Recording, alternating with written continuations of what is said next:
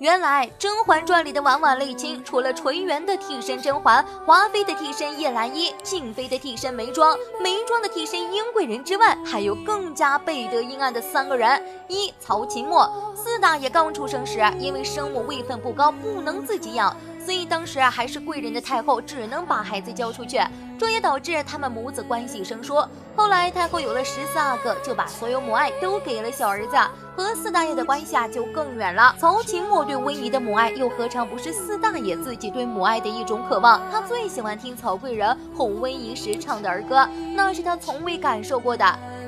你看见曹贵人去接文宜公主时是什么样子？高兴的就差点没飞起来了，直奔华妃娘娘那儿去了。奴才说错话了，奴才该死。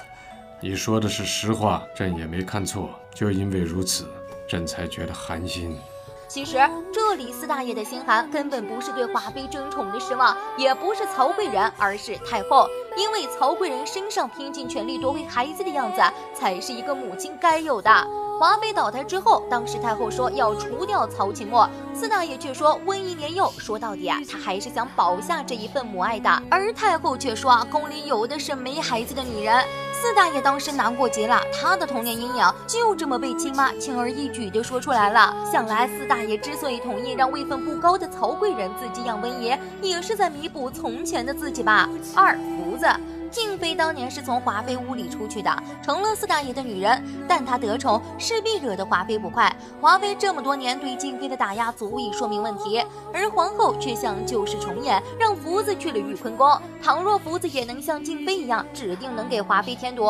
要是福子被华妃为难，也能顺便提醒四大爷静妃早年的苦，可谓是一箭双雕。三玉娆，我们只知道她长得像纯元，却忘了玉娆身上本来的优势，因为她才是。顶级周边，相貌和宝都师叔又富有才情的性格，像纯元和甄嬛；性格刚烈的又像华妃，对她不理不睬这点儿又和后来的梅姐姐又相似，这不得把大胖菊馋死啊！